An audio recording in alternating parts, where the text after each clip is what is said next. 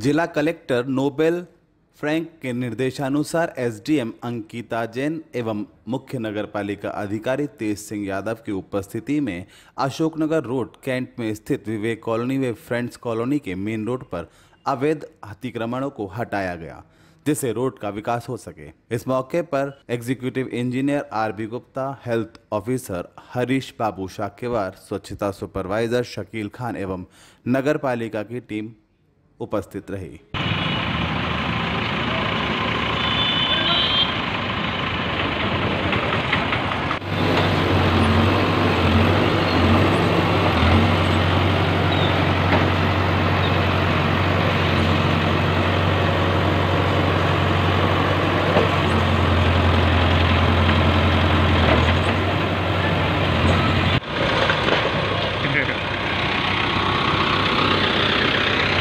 la vara erupció.